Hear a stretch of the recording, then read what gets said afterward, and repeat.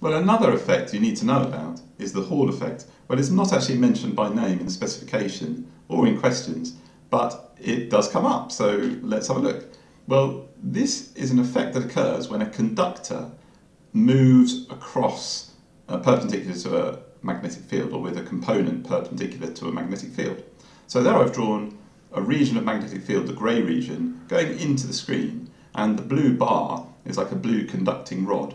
Now notice it's not connected into, into a circuit, it's just there kind of on its own. And we're going to say, okay, it's moving at constant velocity v through the magnetic field. Well, the curious thing is that we're going to have um, all, that means that all the charged particles inside the metal bar, metal rod, are going to experience a force because they're moving charged particles in a magnetic field. I mean, if I just look at one electron, it is also moving at velocity v, it's being dragged through the field, isn't it, at velocity v, by the bar, because it's, uh, it's inside the bar. And that's true of the positive ions as well.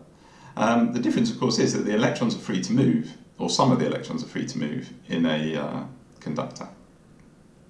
So, well, what's going to happen? Well, maybe you want to pause and use Fleming's left-hand rule to decide what the force on that electron would be. Well, force field current. Force uh, is what we're looking for. The field is into the screen. The current's, of course, right to left. The electron's moving left to right. Remember that that's a negatively charged particle, so that means the current's going right to left. So you should see that this, is, this electron is going to experience a downward force um, due to Fleming's left-hand rule. So it's going to make its way to the bottom of the bar.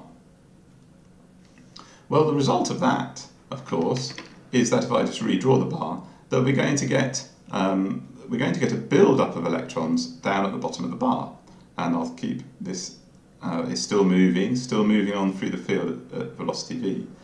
So, well, that's right. So here, so we're going to get, I'll just draw on those little minuses, we're going to get all the electrons trying to get down there. And that's going to leave an absence of electrons, of course, at the top of the bar. So we're going to end up with a potential difference across the bar. But of course, it's going to stop building up because at some point the electrons, the magnetic force on the electrons, is going to be equaled by the kind of repulsion they're feeling to be repelled back to their original position or attraction from the positive charge at the other end. So we've actually set up a potential difference across the bar there. Well, we know something, what that means. We mean, that means we've set up an electric field. And if we just look at that more closely, well, we see that if we put, if we say that's a distance d, and if we say that the potential difference that appears across the ends of the bar, you know, if I put a voltmeter there um, to measure it, um, well, let's supposing that potential difference was, we call it V.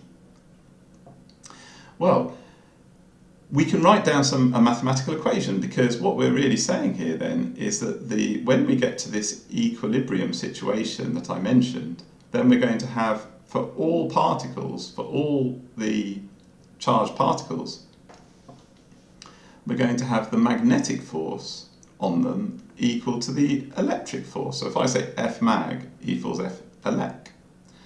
And so, well, we can do a bit of maths now because the magnetic force is BQV sine theta. Theta is 90 degrees. So we get B, Q is the force on an electron, times the speed, the velocity with which they're moving through this field. And that equals the electric force. Well, what's that going to be? Well, we know that the electric field strength is going to be given by V over D. The electric force, well, F equals E times Q. So in this case, it'll be E times E. So that's what we can write in here for our F elec.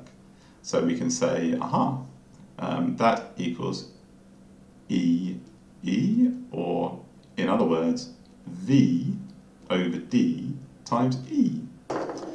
Um, so what we're going to do is we're going to grab this and we're just going to knock that into shape a little bit. Uh, so, well, so we've got B E V equals V E over D.